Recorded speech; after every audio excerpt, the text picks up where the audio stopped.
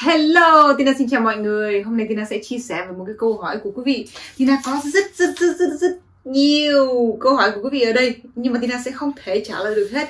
Và Tina sẽ trả lời hôm nay về một cái câu hỏi là uh, tại sao người ta nói là lễ lạy theo một tông kim cương thừa lại vô cùng nhiều công đức. Tại sao lại như vậy? Cái công đức nó từ đâu? Và tại sao có những người nói là những cái lễ lệ này á nó cải thiện được cuộc sống của mình? Mình có thể thành công này mình có thể à, đạt được tất cả những ước mơ này và mình có thể chuyển hóa được nghiệp và thậm chí chuyển hóa được tất cả mọi thứ cuộc sống của mình. Vậy thì tại sao? Thường người ta sẽ trả lời một cái cách ấy, mà nó rất là dễ hiểu và um, dễ trôi. Giống như là à ok con cứ lạy đi. Rồi con sẽ có rất là nhiều công đức. À, ngắn gọn là như vậy. Thì cái đó là cái bề nổi của nó cái bề ngoài của nó thì nó là như vậy. Còn Tina thì Tina là một cái người mà lúc nào cũng phải hỏi đặt câu hỏi đặt câu hỏi tại sao tại sao tại sao tại sao? Tại sao khi chúng ta lễ lệ như vậy mà nó lại có thể có công đức? Khi mà Tina uh, tư duy về cái việc này á thì Tina cảm nhận cái cơ thể của mình. Xem là nó có khác gì với cái việc mình không lạy và mình lạy. Thì khi mà mình quan sát á, và mình bắt đầu đi vô những cái tư thế ha, bắt đầu á, mình chắp tay vô, mình để tay trên, mình chắp tay, mình chắp tay, xong mình trườn xuống trườn xuống, bắt đầu mình lại đi lên, ok? Thì nó có kích hoạt một số cái thứ trong cơ thể và tại vì Tina không biết là nó kích thoát kích hoạt những cái gì trong cơ thể. Và Tina muốn chia sẻ với quý vị thì Tina uh, phải tìm hiểu thêm là nó kích hoạt cái gì. Thì từ từ từ từ từ từ khi Tina tìm hiểu và Tina uh, bắt đầu tìm về cái uh, này thì Tina không có tìm được ra cái việc là cái lễ lạy này. Nhưng mà trong yoga thì nó có.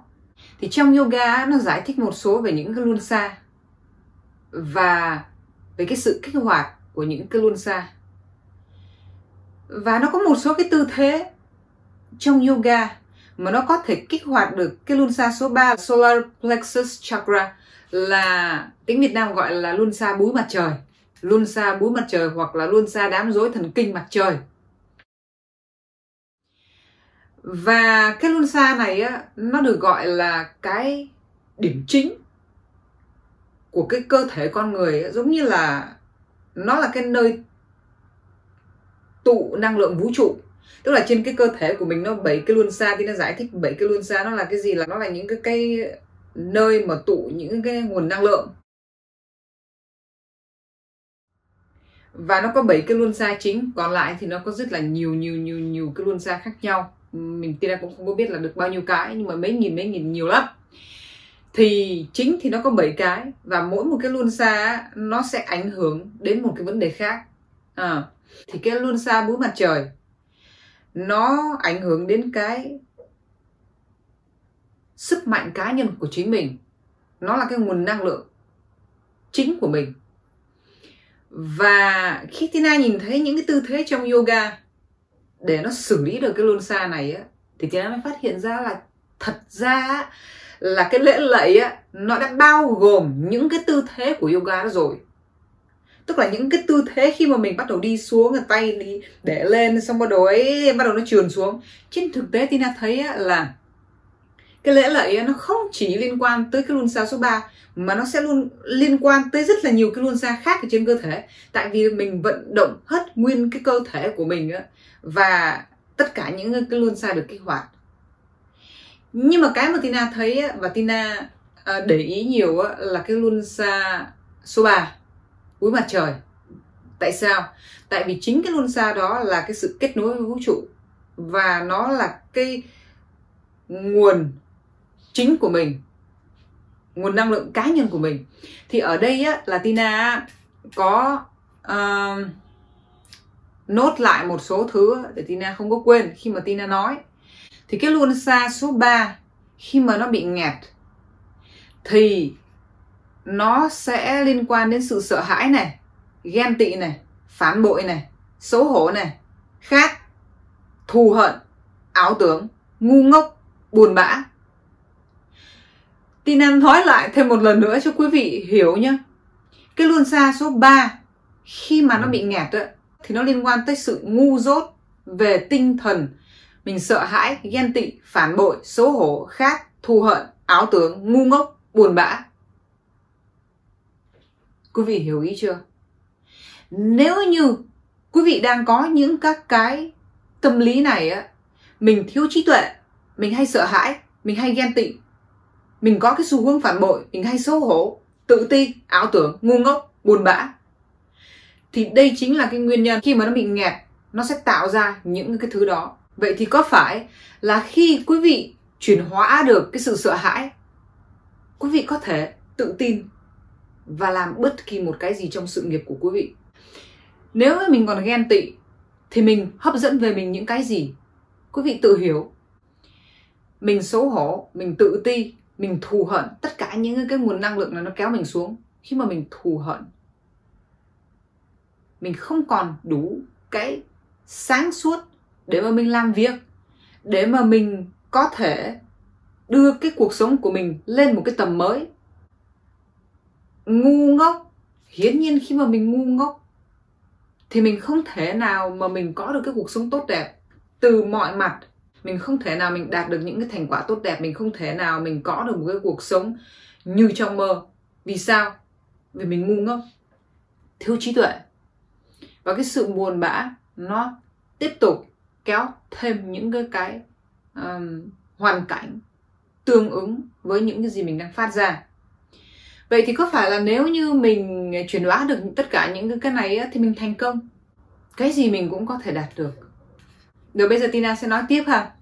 Về mặt sinh học luân xa ba có tác động nhiều đến những bộ phận như sau dạ dày gan túi mật thận ruột già hệ cơ tuyến thượng thận tuyến tụy màng ngăn và da do đó nếu luôn xa mũi mặt trời bị thu hẹp có thể ảnh hưởng đến cơ thể vật lý tới những bộ phận hoặc các bệnh lý về gan, sỏi mật, tiểu đường, tiêu hóa.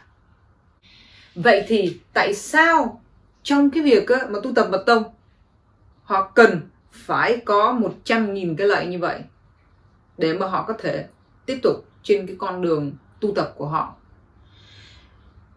Chẳng qua là họ phải chuyển hóa được hết mấy cái này, trong đó có bản ngã. Tại vì á tất cả những cái sự sợ hãi buồn bã ghen tị hận thù nó liên quan cái bản ngã của mình.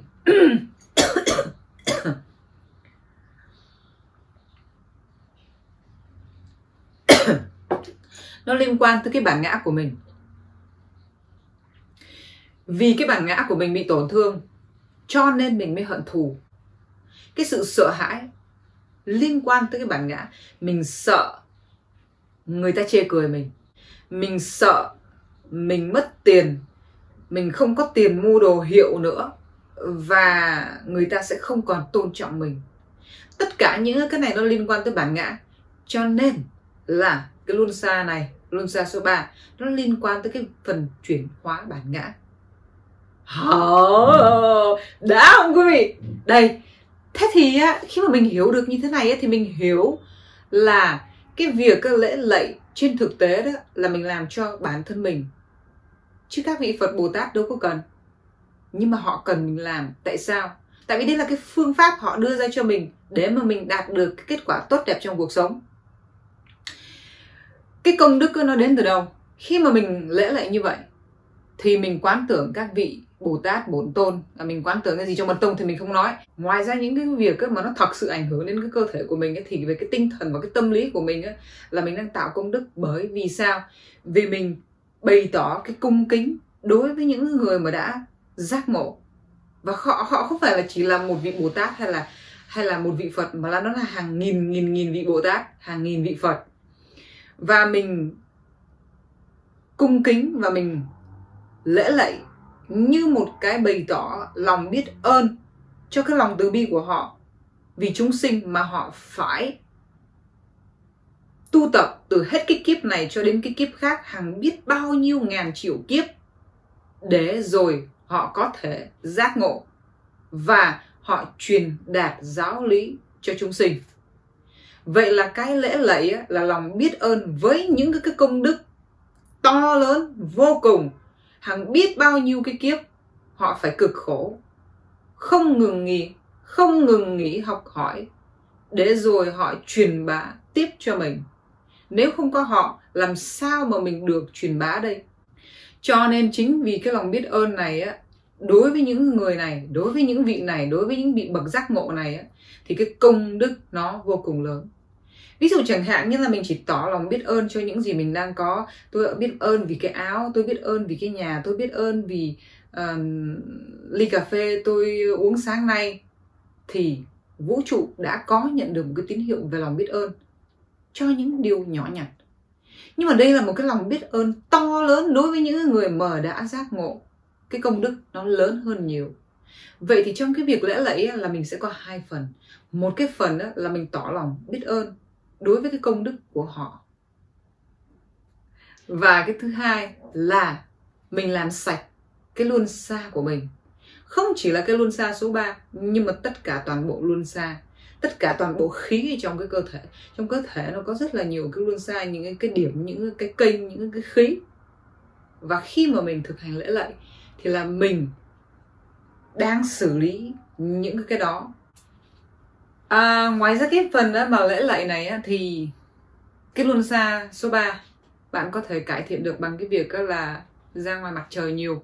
Sáng sớm mình có thể mình phơi nắng đi ra ngoài thiên nhiên và tiếp xúc với mặt trời nhiều hơn tiếp xúc với mặt trời nhiều hơn. Rồi hôm nay Tina chỉ chia sẻ đến đây thôi. Hy vọng là cái video clip này mang được thật là nhiều lợi ích. Ok bye!